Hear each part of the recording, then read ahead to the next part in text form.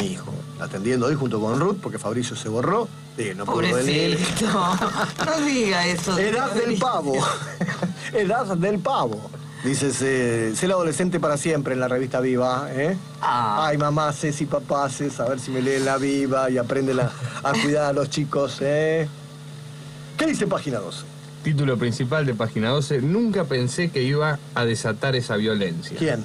Alicia. Ah, nunca pensó, no, No, se imaginó no. ella. No, Alicia No, se imaginó. Ella iba a Santa Cruz, dijo, no, yo voy a llegar ahí y me van a abrazar todos, me van a decir gracias, Claro. gracias por los 150 pesos que nos das a los desocupados, Alicia, porque los subsidios, que- Alicia, no sabés lo agradecida que te estamos, pareces Evita a esta altura. A Alicia Ay. habría que cantarle. Ay, ¿Quién sabe? Ali- Alicia, este país no Sí, estuvo hecho porque claro, sí. Claro, ella estaba en el país de los, de los Kirchner, eso el país de las maravillas, que todo crece y todo está mejor. La única cagada es que agreden a la hermana y a la madre del presidente inútilmente, porque tampoco van a ir para atrás con eso. Evita volver a la, a la provincia, ¿no? Eh, eh, claro, ella volvió porque dijo, y ahora yo, antes que Debido, que es un corrupto, que se me venga a poner acá en Santa Cruz, porque Debido también quiere ser gobernador de Santa Cruz. Sí. Porque él era- usted sabe que Debido el, el ministro de Economía de la provincia de Kirchner.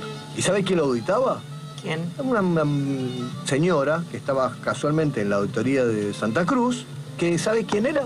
¿Quién? La esposa de él. Oh. Le miraba?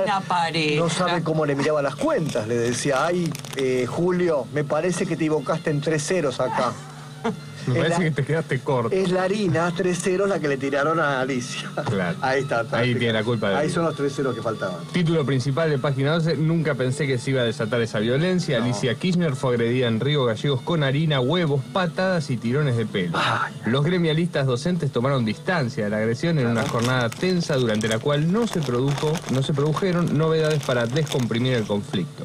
Les pido que busquemos la armonía social y a los violentos les pido que reflexionen, afirmó la hermana del presidente. Sí, con el, con el cura Romanín también a la cabeza. El amigo Bergoglio. ¿Vos te acordás que Romanín es muy amigo de Bergoglio, el mismo que entregó la isla para que eh, secuestraran y torturaran gente? La isla de Tigre, que era de la iglesia. Eso dice Berbisky, al menos en su libro. Yo no sé si. No creo que Berbisky mienta, porque Bergoglio nunca va a decir que no. Nunca dijo que no. Así que. Siga. Desde el abismo, el